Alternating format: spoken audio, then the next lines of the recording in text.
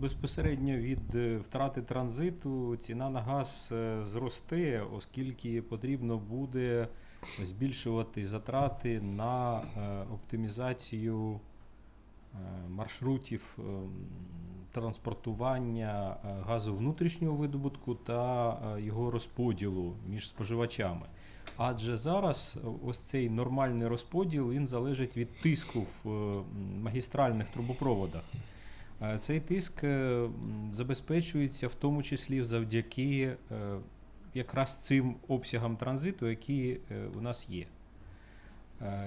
Прикладом того, наскільки ми залежимо від тиску в транзитній трубі, є події кінця лютого, початку березня, коли зменшення тиску на 20% призвело до виникнення дефіциту газу для більшості українських споживачів. Відома акція прикрути.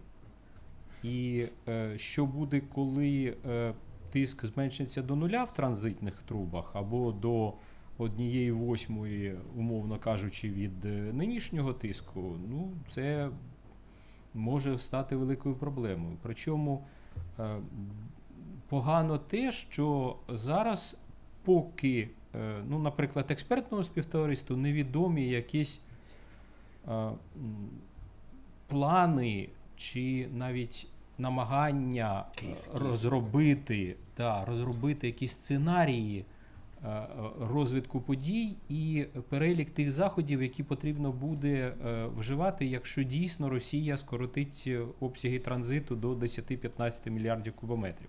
Адже це не просто так. е, е, Якщо це, наприклад, відбудеться ще і 1 січня 2020 року, то це взагалі буде великою проблемою, оскільки це ж опалювальний сезон.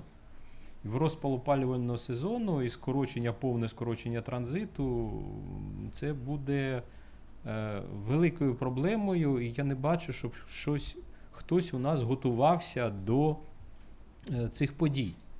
Е, Ми бачимо лише політичні заяви.